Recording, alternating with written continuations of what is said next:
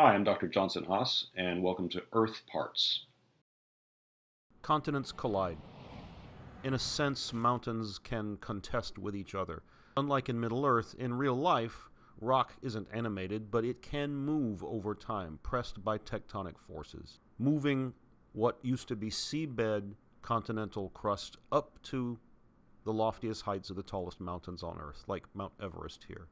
The process is called orogeny, mountain building any kind of event that forms mountains, including subduction related processes and other processes too. But a mountain forming event is an orogeny. The tallest mountains on Earth are orogenic results from continent continent collisions. K2, the second highest peak on Earth. Both this and Mount Everest are part of a band of mountains called the Himalayas. And these are a collisional mountain belt formed when the continental crust of, in this case, India, slowly slammed into the southern edge of the Asian continental plate. The result is the continental crust is granitic on both sides, India and Asia, and it can't subduct either under the other for long. So instead, what happens is when two continents collide, they create these vast mountain ranges, the tallest on Earth. The Himalayas are produced from the slow collision of India with Asia about 25 million years ago, stretched out over time. It wasn't instant and it resulted in the buckling of the Asian continental crust and the forcing of the crust to move out of the way, essentially, buckling as India itself warped as it runs into Asia. And you can look at this Google Earth map and you can look at the satellite image and you can see it. You can see India is one big mass, roughly triangular mass of rock, continental crustal plate. And you can look and see the mountain range piling up in front of it. As it moved north, bulldozed Asia ahead of it as it too was bulldozed up into high mountain peaks. Look on both sides. Look on the western side of India and the eastern side. Western side toward Pakistan, eastern side toward Bangladesh. And you can look at, without even being a geologist, you can see that the land itself is tortured. It's been warped and shifted as India has plowed north. You can see the clear track that it took and the land that warped around it on both sides, as the Himalayan range and the Himalayan plateau behind it rose as a result. The island continent of India ran into Asia.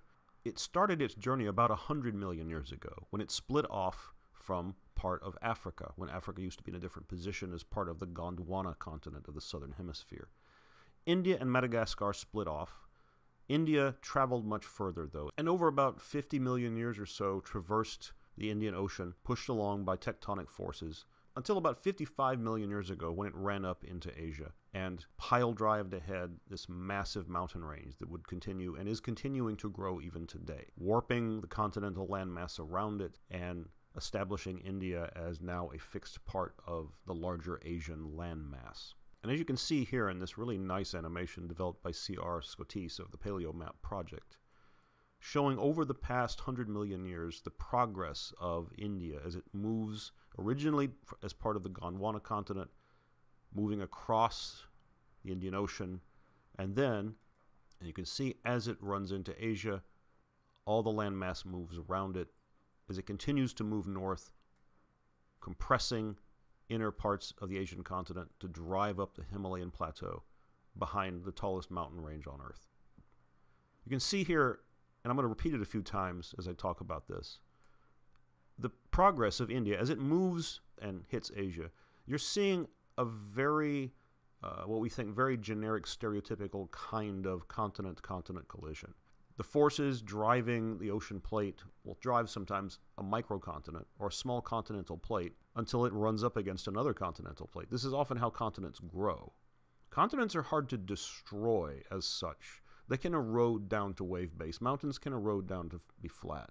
But it actually is not very easy to completely destroy continental crust. In practice, what happens is continental slabs accumulate, they accrue against each other as they slam into each other. In this case, India slamming into Asia. And notice that the subduction zone, which is what brought it there, the ocean crust on both sides of India was moving north as part of a subduction zone under Asia. So Asia already at that point in the southern part of Asia at that time had a growing subduction related mountain range. And then India adds to that.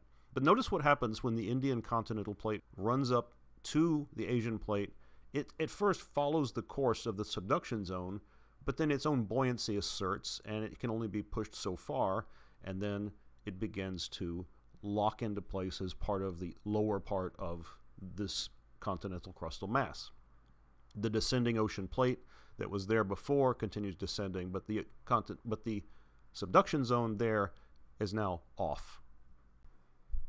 Now, during an orogenic event, when you have a mountain building event going on like this, where continents are colliding, you can achieve geologic conditions inside those mountains, down within in the rock, that normally are not encountered. You have continental crust slamming at tectonic force against another continent. And the continental rock is not particularly hot. It's just the normal, what we call geothermal gradient. As you go down, it gets hotter, but not anomalously so. But then, if you press two continents together, the tectonic force involved, the compressional force, is enough to have the rock undergo high pressure conditions at fairly moderate to low temperatures, nowhere near melting point. No, normally rock would not achieve high pressure conditions like that except in the mantle at much higher temperatures. So you get a wide range of different minerals forming as minerals from the Earth's surface are exposed to essentially a high pressure forge that will force them to recrystallize into different forms. We call this metamorphism.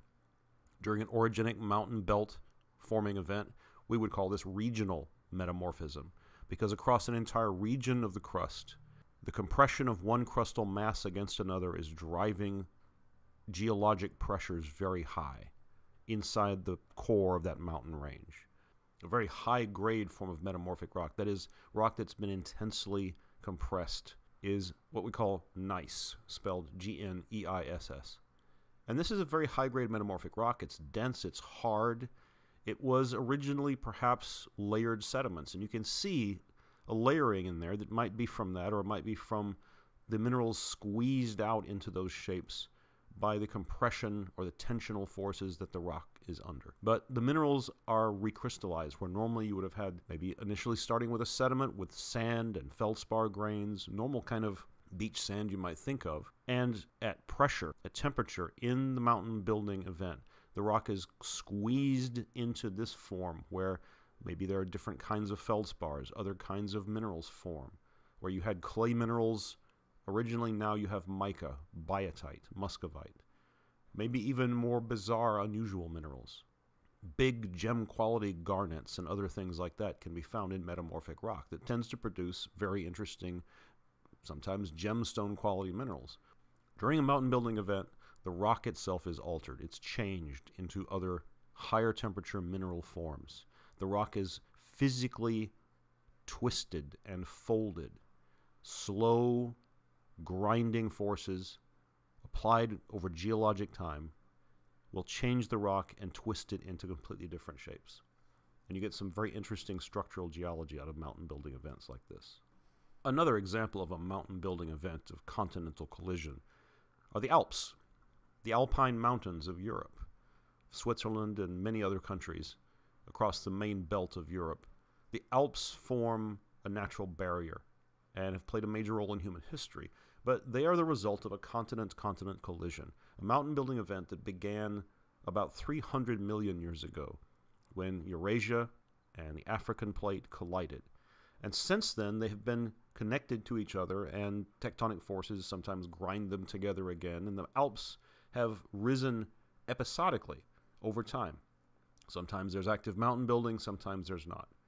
And when there is, there's more volcanic activity, there's more earthquake activity. And currently, the mountain building is underway, and we see geologic activity in Europe as a result. The Alps are stunning, and I recommend anyone who has a chance to go there, especially if you go up to a place like Jungfraujoch, a high altitude location here shown in Switzerland, where you literally go up to the mountain through a railway, a train that's been bored into the mountain, like as if by dwarves. And then you emerge at the top into this structure, uh, which is also a meteorological research station.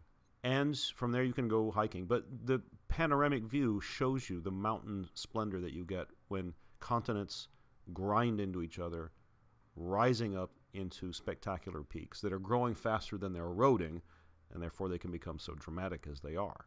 And in the geology of a mountain range like the Alps, you can see its history recorded. For example, at the Matterhorn, the iconic mountain peak on the border of Switzerland and Italy.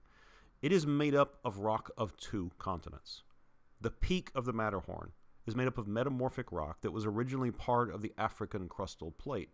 Africa grinding up against Europe, a slice, a sliver of that African plate thrust up into part of the mountain peaks that form as a result of the collision. In the Matterhorn itself, physically, the peak is metamorphic rock from Africa. Below that is a slice of metamorphosed ocean crust. Remember, there was an ocean between those two continents when they slammed into each other. What happens to it? Well, most of it gets subducted, but slivers of it can be sharded off, can be broken off, and will become part of what is then forged up into high mountain peaks. This can happen, and the Matterhorn is an example of it. Below that metamorphosed ocean crust of that particular mountain is the basement rock of the Eurasian crust. African crust slammed up over Eurasian crust during the slow geologic violence of a mountain building event. Mountain building has been happening throughout the history of our planet, and the Appalachian Mountains in eastern North America are a wonderful example of that, and an example of how complicated Earth's geological history can be. The Appalachian Mountains are not one mountain range, they actually comprise several different mountain ranges that formed at different times as a result of different continental collisions. And then basically what we see today is the sum total of the history of all of those events combined. The Appalachian Mountains stretch from Alabama all the way up through Maine into Nova Scotia and on into Canada. The Appalachians began to grow at least in their initial stages, as part of what we call the Taconic orogeny, the Taconic mountain building event. A volcanic island arc, a subduction related island arc like Japan today, ran into, oriented as the continent is now, the eastern side of North America, although its orientation was different then. The Taconic island arc ran into North America and grew a mountain range. Later, an island microcontinent we call now Avalonia, was driven into the eastern side, again, as it's oriented today, of North America, adding another mountain range and another piece of continental mass to the continent. When Avalonia ran into North America, it forged the Acadian orogeny, a mountain range that stretches through Maine up into Canada and formed a northern extension, essentially, of the Taconic mountain range, which was a little bit further to the south. Later still, around 300 to about 250 million years ago, Africa collided with North America. This time, what is now eastern facing coastline of North America was facing south. And the southern edge of North America ran into Africa, raising up the Appalachian Mountains during what's called the Alleghenian orogeny. At this point, the Appalachians were as tall as the Himalayas and formed an interior mountain range inside the middle of the Pangean supercontinent that began to break up in the Triassic period. Later, around 180 million years ago, Pangaea began to break apart, and with that, it formed the eastern and southern coasts of North America. At one time, the Appalachian Mountains were as high as Everest, but over time, they've eroded down, risen again, eroded down, and risen again and eroded down. And what we're seeing today is the core of a very ancient complex of multiple orogenic events. The Appalachian Mountains are eroded down from what was their magnificent greatness maybe a couple hundred million years ago, but they're still pretty spectacular today and well worth a visit I would recommend to anyone.